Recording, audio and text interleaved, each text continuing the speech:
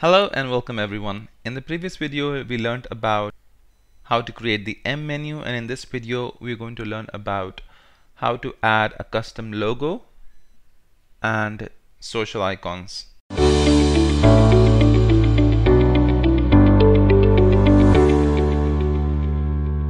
Okay, so what we're going to do is if you take a look this is the query that we had written in the previous videos if you've been following along. And we had the header menu the footer menu etc we also had the menu fragment right? And we were getting all of the menu items. What we want is that we also want to have the logo over here. So how do I get that? So what I'm going to do is I'll put the alias as header. And then get header and inside of this see what's available. So we've activated a plugin called Headless CMS and that adds this extra features which is not available by default in WP GraphQL. So it goes ahead and extends that. So we have these available. So we have favicon site logo URL site tagline and site title. Okay so that's what we've got here. Now for the footer let's say footer. Again we'll say get footer and see what we have available. Copyright text sidebar 1 sidebar 2 social links icon name icon URL okay so and if you go to customize in the site identity you can write Next.js headless WordPress site tagline and you can also put an icon if you want. To drop an icon here which will be favicon. Crop it. So I've got the favicon here and then I'm also going to go ahead and put a site logo. So let's say this one. Like so. Expand it. Okay. So we've got the site logo. Hit publish. What else is there? So now if I hit it you can see that we've got favicon we've got site logo URL site tagline site title. All of that is coming from WordPress and that's dynamic which is great what we also want is for the footer right? So for the footer I have already created some sidebar. So if you go to widgets you can see that I've created this HCMS footer 1 categories meta and then you've got footer 2 as well uh, but I've got not put anything. So this widget is registered again by the headless CMS plugin. If you want to use it use it. I mean I'm just putting the data here uh, it's up to you if you want to go ahead and use it. I may not be using all of this data but if you did want to use it you could do that. Okay. So that's for the sidebar. And then you also need social links. So again that plugin also allows you to add some social links. So again if you go to customize and if you go to social links this is where you can put your social links. So I can put mine here. So I'll say so I'll put the Codeytek over here. And then I'll put the Twitter so Twitter slash Codeytek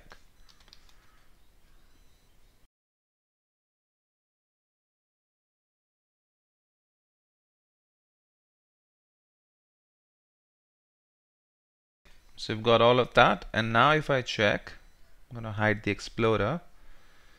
And if you hit it if you scroll down you can see that you've got the sidebar uh, you don't have the copyright text so let's add that as well. So we have an option in the footer to add the copyright text as well. I'm to put Codeytek Academy 2020 as my copyright text. And now if I fetch it again you scroll down. Under the footer you can see you've got a copyright text right? Codeytek Academy. And if you scroll down uh, you see the social links Facebook Twitter Instagram and YouTube and their links as well. So I can easily use them in my query. So all I have to do now is just copy this and paste it uh, into my existing query. So what I'll do is I'll paste it over here. This will go or I might as well just paste the whole thing. It'll be better if I do that. So let's copy this and copy the whole thing paste it here. Okay perfect. Now because we will be using this header header menus footer menus all of these uh, all of this stuff on all the pages we we're going to require the header footer menu uh, and the navigation menus on all of the pages, it is better to take it inside of a variable. Uh, so what I'm going to do is I'm going to go ahead and cut from this point and I'm going to create a constant and I'll call it as header footer equals and then I'm going to, going to use backtick and then I'm just going to paste this query okay? So what I'll do now is I'll just copy this constant and I'm just going to use the dollar sign to inject it like so. Okay so this way we've got our header and footer like so and then I can just wherever I want to use this menu I can just use this header and footer right and also I'll have to use the menu fragment there. Okay? So now if you go back to the index.js we also need to pull the header.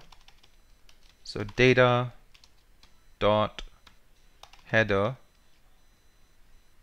And if it's not available it should be just empty. Okay? Same way goes for footer as well. Footer. Again this can be empty alright and for this one as well. Okay. And what we're also going to do is we're going to put this only if the data is available. Okay. So we're going to say actually we should pull this on top because it's not actually the menus. The, these are just header and footer information. So I'm going to put that like so. Okay. Awesome now we should be able to pull that information into our components and let's do that. So I'm going to go ahead and go to our index.js and this is where we can get that information. Uh, so inside of the layout I can pass the header menus like so and I can also pass the header like so and this will be data dot header okay? And similarly for the footer as well I can do that. So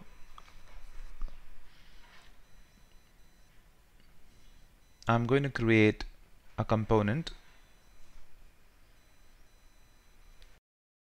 Okay so inside of the footer directory I'm going to create a file called index.js and say const footer equals for now we'll just return footer. And we'll come back to that. Export default footer. Okay. Awesome. And then I'm just going to pass the information to the footer as well. So footer and this will be footer equals data dot footer.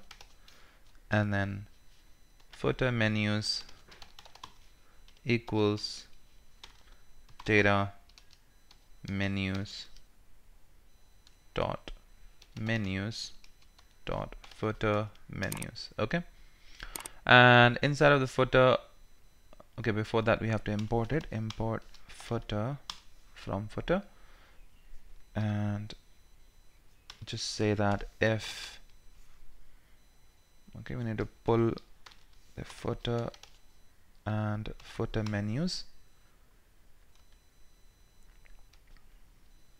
so if it's empty then return.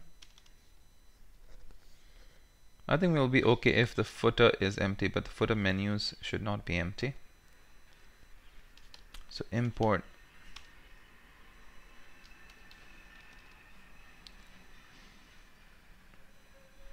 Is empty from Lodash. And if this is empty then just return null. Okay. So we'll come back to that later but I just want to show you that we do have all of the data that's available and I'm just going to put that there. Let's go back.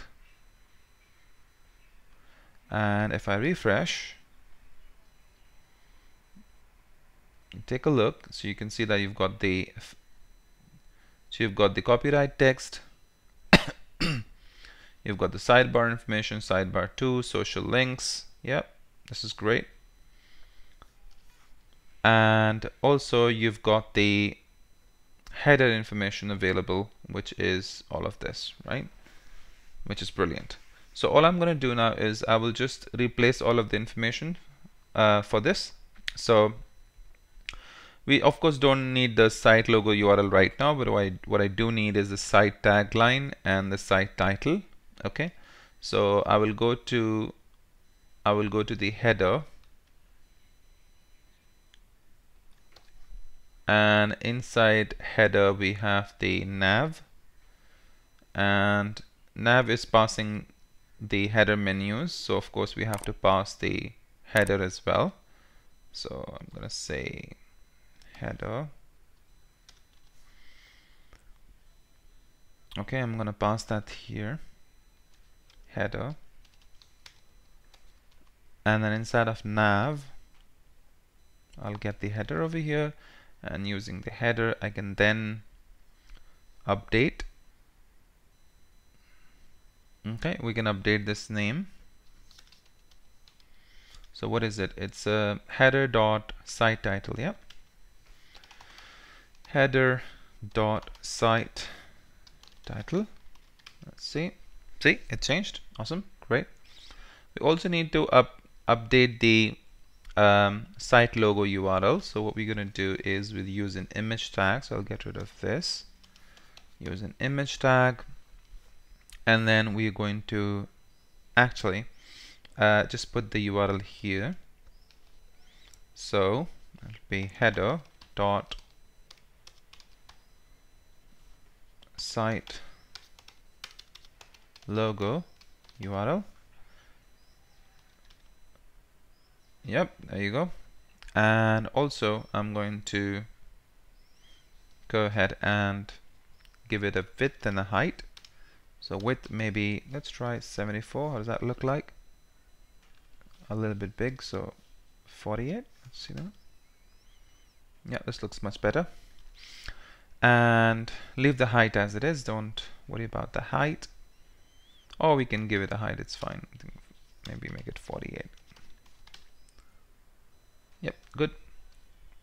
And we give it a class name and we want to give a margin a right of 4. Yep, great, awesome. And then we also need to put the favicon and all, which we will come back to later, but we also need to put the site tagline. So let's put the site tagline. So I'm going to say span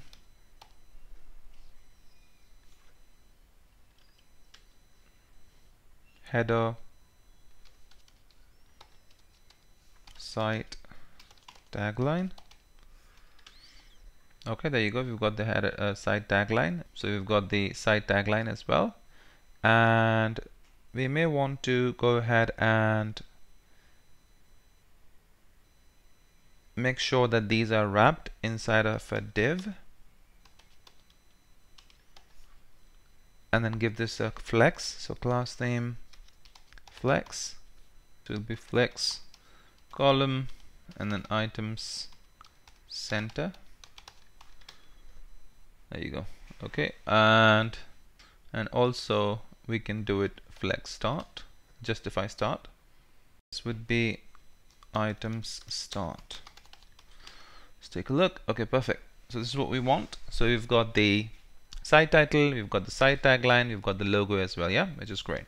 All right brilliant Okay, in the next video we'll continue further and we are going to add the favicon etc and then also add the footer. Okay, so I hope you did like the video. If you did, please give a thumbs up and do subscribe to my channel if you aren't already. And uh, do give star to my repository. My repository name is Next.js Headless WordPress and thanks to all the lovely people who have already started my repository and I'm gonna see you in the next video. Thank you very much.